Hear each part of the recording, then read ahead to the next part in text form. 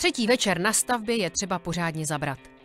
Zítra totiž dorazí kuchyňská linka a všechno musí být připravené na její instalaci. Řemeslníci musí dodělat obklad, který kuchyňskou sestavu doplní. Je to moderní obklad, který je glazovaný, snadno udržovatelný, ale na druhou stranu připomíná ruční výrobu, protože každá ta dlaždička je vlastně jinak profilovaná, jsou tam na schvál nepřesnosti tak, aby to působilo venkovsky. No tak to je pecka.